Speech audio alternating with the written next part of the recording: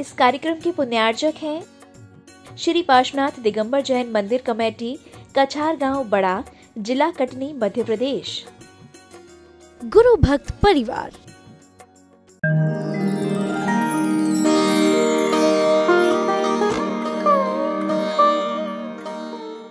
ॐ नमः सिद्धेभ्यः। ॐ नमः सिद्धेभ्यः। ॐ नमः सिद्धेभ्यः।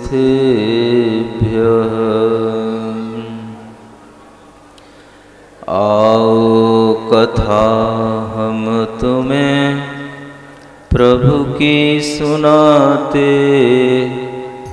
श्री रामचंद्र मुनि के गुण गीत। गाते मर्याद निष्ठ पुरुषोत्तम मोक्षगामी।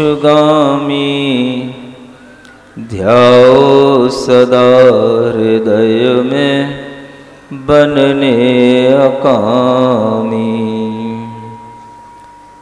थे अष्ट में बहुगुणी बलभद्र राम अत्यन्तप्रेमयुतलक्ष्मणभ्रात नाम।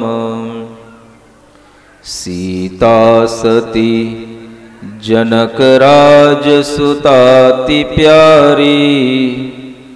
जोशीलरूपगुडानी प्रसिद्ध नारी। देवादेव एक हज़ार आठ श्री ऋषभनाथ भगवान की। वर्तमान शासन नायक श्री वर्धमान महावीर भगवान की। श्री एक हज़ार आठ श्री राम सिद्ध प्रभु भगवान की। परम पूज्य आचार्य गुरुवर श्री विद्यासागर जी महाराज की। आप सभी लोग यह जो राम कथा सुन रहे हैं, इससे आपके अंदर धैर्य की भी वृद्धि होनी चाहिए, धैर्य। धैर्य समझते हैं? थोड़ा धीरज धरो, धैर्य धारण करो, जल्दी घबराओ नहीं, जल्दी परेशान नहीं होना, ये कहलाता है धैर्य, और ये धैर्य हमें इन महापुरुषों के जीवन चरित्र को देखने से मिलता है। जब लक्ष्मण ने वह अपशकुन देखे, रास्ते में उन्होंने जटायु पक्षी को मरा हुआ देखा वो सोच करके और ज़्यादा घबराने लग गए और उस समय पर उनका जो मित्र बनकर के विराधित विद्याधर आ गया था, वह उन्हें धैर्य देता है। आप घबराएँ नहीं धीरे धीरे सब ठीक हो जाएगा। आप व्याकुल ना हो, सब कुछ अच्छा हो जाएगा और इस तरह से उनको धैर्य देते हुए वह आगे बढ़ने लगा।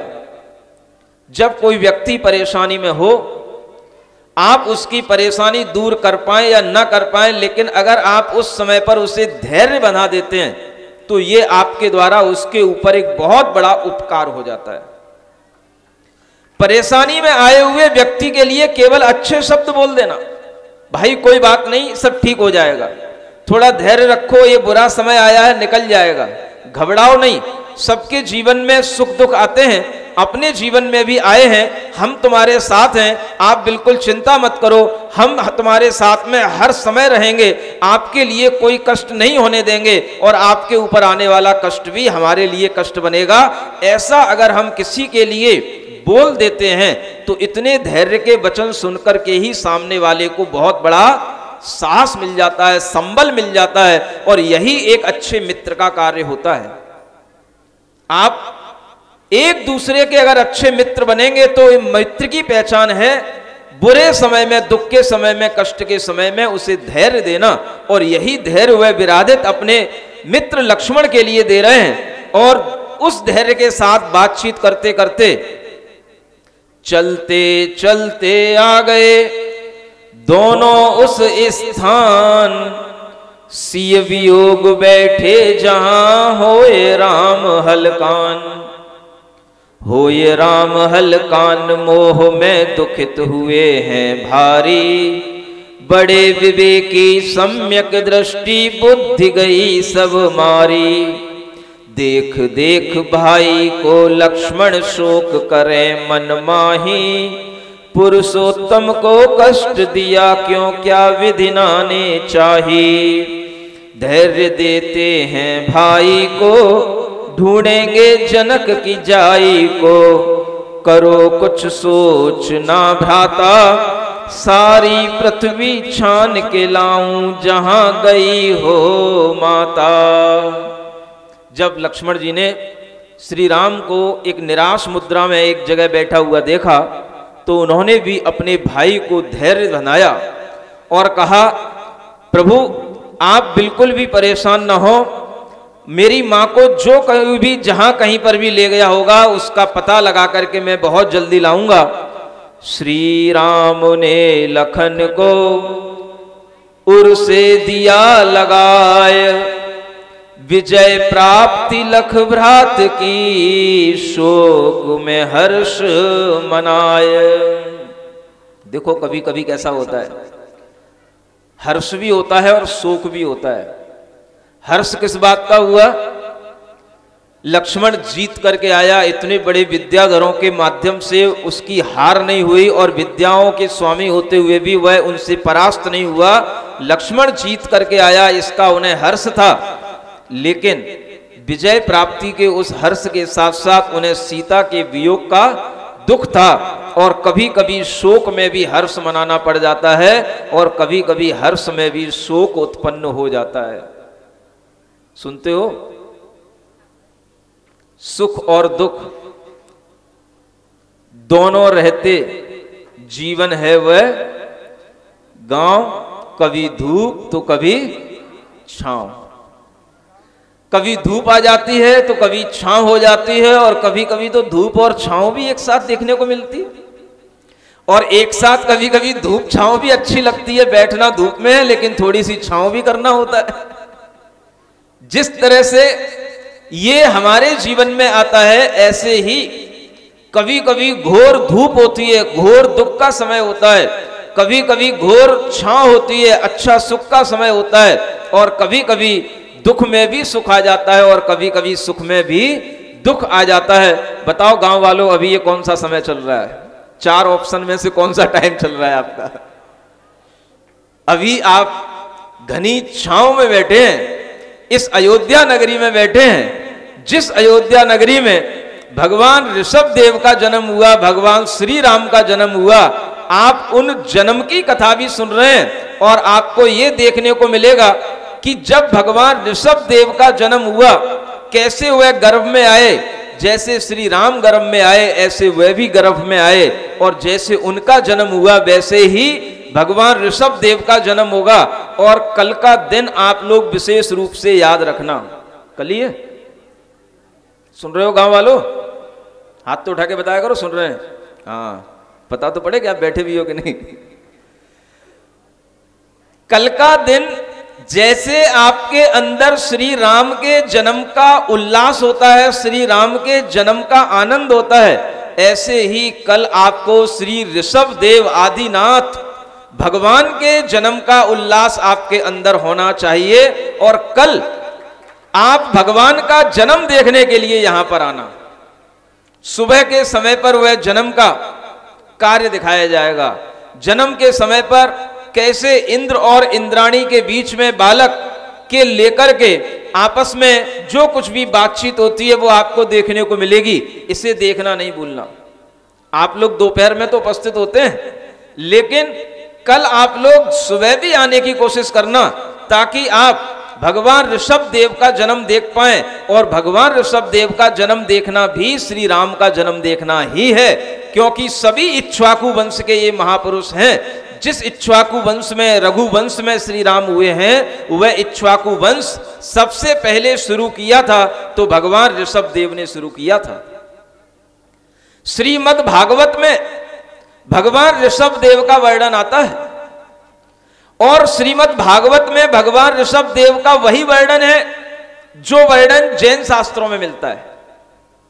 उनके पिता नाभि राय, उनकी माँ मरु देवी और उनके सौ पुत्र और उन सौ पुत्रों में सबसे बड़ा जेठा पुत्र, सबसे बड़ा पुत्र भरत, जिस भरत को चक्रवर्ती बनने की उपाधि मिली थी और जो भरत पूरे छह खंडों का पूरी पृथ्वी का राजा था। ऐसे भरत जैसे महापुत्र को जन्म देने वाले भगवान ऋषभ देव से ही इच्छाकु वंश प्रारंभ हुआ था। उन्हीं भरत के नाम पर आज इस देश का नाम भारत जाना जाता है। ये वही भरत हैं जिनका उल्लेख श्रीमद् भागवत में है और आदि पुराण आदि ग्रंथों में है। ऐसे उन भरत ऋषभ देव से सबकी डोर जुड़ी हुई है। वो हमारे पहले तीर्थंकर थे। आपको सामान्य सी जानकारी देने के लिए बता दूँ कि एक तीर्थंकर होने के बाद में दूसरे तीर्थंकर होने के बीच में बहुत लंबा टाइम होता है, बहुत लंबा गैप होता है। और ऐसे गैप करते करते, असंख्यात वर्षों के गैप होते होते, वह जाकर के दूसरे तीर्थंकर, तीसरे तीर्थंकर, चौथे तीर्थंकर पाँचवें, छठवें, सातवें, आठवें ऐसे करते करते जब बीसवें तीर्थंकर उत्पन्न हुए थे, उनका नाम था मुनि सुब्रत नाथ क्या नाम था? गाँव वालों को थोड़ी थोड़ी सी जानकारी, जैन दर्शन की भी और तीर्थंकरों की भी हो जानी चाहिए। पहले तीर्थंकर का नाम क्या था? ऋषभ देव बोलो सब लोग। ऋषभ देव जिनके पुत्र का नाम क्या था? भरत और जो पहले तीर्थंकर थे, ऐसे तीर्थंकर होते होते जब बीस में तीर्थंकर आए तो उनका नाम था मुनि सुब्रत नाथ क्या नाम था? ये नाम इसलिए बता रहा हूँ कि इन्हीं तीर्थंकर का जब तीर्थ चल रहा था, इन्हीं तीर्थंकर का जब समय चल रहा था, तभी श्री राम भगवान का जन्म हुआ था। ये बलभद्र कहलाते हैं और ये आठवें बलभद्र के रूप में प्रसिद्ध हुए थे। कौन से तीर्थंकर के तीर्थ में हुए? मुनिसुब्रत नाथ तीर्थंकर के तीर्थ में हुए, बीसवें तीर्थंकर। उसके बाद में फिर और चौबीस तीर्थंकरों में से चार तीर्थंकर और उसके बाद हुए। नमीनाथ भगवान हुए, नेमीनाथ भगवान हुए, जो नेमीनाथ भगवान के बारे में भी आपने सुना ही होगा। सुना है? आपको बता दें जानकारी के लिए। श्री राम पहले हुए श्री कृष्ण बाद में हुए हैं। और जो श्री कृष्ण हुए हैं, वो नेमीनाथ भगवान के तीर्थ में हुए हैं। वो नेमीनाथ भगवान के सगे संबंधी थे। वो यदुवंशी कहलाते थे, यादव कहलाते थे। इसलिए जितने भी ये यादव होते हैं, यदुवंशी होते हैं, ये सब उसी इच्छाकु वंश से संबंध रखते हैं और सभी उसी अहिंसा धर्म से संबंध रखते हैं और सभी उस जैन धर्म से संबंध रखते हैं। भले ही वह किसी भी जाति में उत्पन्न हुए हो, लेकिन पहले सब ये एक हुआ करते थे और आज भी सब एक हैं। चाहे वो यादव हो, ठाकुर हो, साहू हो, सूर्यवंशी हो, राजपूत हो, ये सभी उन्हीं तीर्थंकरों के वंश में उत्पन्न होने वाले लोग हैं, इसलिए सब आपस में रहने मिलने वाले भाई भाई हैं, ये हमेशा ध्यान रखना। सब भाई भाई हैं, जो अहिंसा को माने वो हमारा भाई है। अहिंसा समझते हो? हिंसा ना करे। अहिंसा को माने, मांस ना खाए, शराब ना पिए, वो हमारा भाई है। वो हमारे वंश का है। वो तीर्थंकरों के वंश का है, वो रघुवंशी है, वो इच्छाकु वंशी है। वंश बाद बाद में नए नए नामों के आते गए, लेकिन सब हैं उसी एक ही इच्छाकु वंश के अलग अलग नाम। और नेमीनाथ भगवान के समय पर श्री कृष्ण हुए, नारायण श्री कृष्ण और उसके बाद में पारसनाथ भगवान हुए। कौन से भगवान? कम से कम आपको चार पाँच तीर्थंकरों के नाम ध्यान में रहने चाहिए। वही पारसनाथ भगवान जिनके ऊपर हमेशा फण, नाग खड़े रहते हैं फण लगाए हुए, जिनकी मूर्ति आपके जिनालय में स्थापित होने जा रही है। जब आप उनको देखेंगे तो आपको ऐसे ही वो पार्श्वनाथ भगवान चारों ओर धरणेन्द्रों से घिरे हुए, नागेंद्रों से घिरे हुए मिलेंगे। वो पार्श्वनाथ भगवान हैं, जिनके दर्शन से, जिनका नाम लेने से हमारे विघ्न दूर होते हैं, हमें सुख शांति मिलती है, और फिर अंतिम तीर्थंकर हुए भगवान महावीर स्वामी। जिन्हें हम वर्धमान महावीर भगवान कहते हैं। आप लोग महावीर भगवान, श्री हनुमान जी को भी कहते हैं, लेकिन वह महावीर भगवान वर्धमान के रूप में जो हुए, वो चौबीसवें तीर्थंकर हैं, और जो हनुमान जी हुए, वो तो श्री राम के समय पर हुए। उनका नाम भी आगे आने वाला है। वह आपको सुनने को मिले ना मिले, लेकिन जितना मिल रहा है, उतना तो अभी अब सुन ही लेना। वह विराधित लक्ष्मण सब मिलकर के श्री राम को समझाते हैं और श्री राम के मन में हर्ष भी थोड़ा आ जाता है। जैसे कोई व्यक्ति बिल्कुल डिप्रेस हो रहा हो, थोड़ा सा हम उसे संबल दे दें तो थोड़ा सा उसके अंदर पावर आ जाती है। इसी तरह से उनके अंदर आ गई। फिर विराधित ने राम चरण में आकर शीश झुकाया है।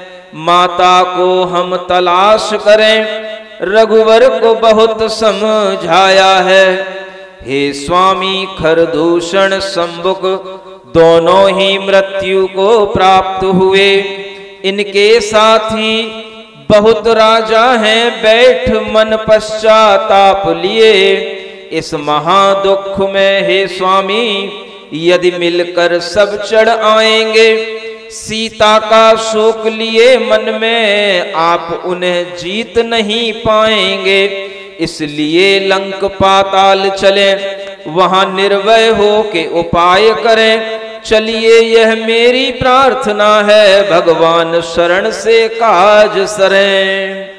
तब चार हाथियों के रथ पर चढ़ करके दोनों जाते हैं, लेकिन सीता बिन छवि नहीं मन नहीं कहा कहीं लगा पाते हैं। पाताल लंक द्वारे पहुँचे, था सुंदर उसका अधिकारी। खरदूषण का लघुपुत्र, सैन्य लेकर युद्ध की तैयारी। कुछ देर किया था युद्ध, न सम्मुख लक्ष्मण के टिक पाया है। निज माता को ले साथ युद्ध से लंका की दिशाया है। श्री राम लखन खरदूषण के महलों में जा आबाद हुए। सुंदर जिन मंदिर देख वहाँ भगवान शरण से शांत हुए।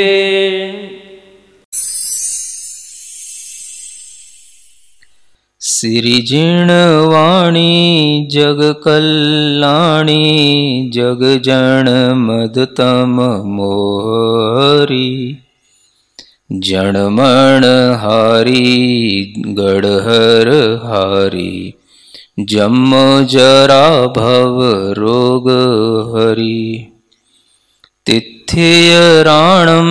दिव्यझुणिं जो पडै सुणै मय्ये धारै णं सौखमणन्तं धर्य सासदमोक्षपदं पावै। सासदमोक्षपदं पावै।